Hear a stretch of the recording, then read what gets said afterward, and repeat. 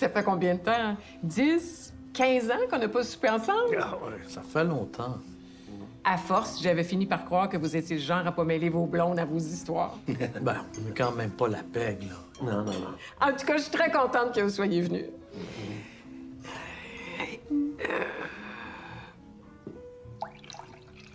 Il est vraiment bon, ce petit vin-là.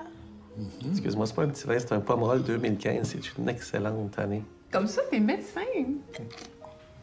Urgentologue. Urgentologue, ça doit tellement être stressant. Ah, c'est bien fatigant. Toujours à prendre des décisions en une fraction de seconde. Disons que ces temps-ci, je passe plus mon temps à récupérer des boules de billard que les gars se mettent dans le cul. Les boules de billard, mais voyons donc, ça se peut pas, ça. Eh, Bobo, si tu savais, j'ai déjà sorti un ventilateur. Mais là, comment tu fais? Mais tu.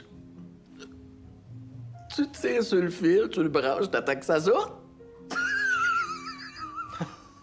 ça sort tout seul. De shit, y a-tu de fan? T'es-tu correct?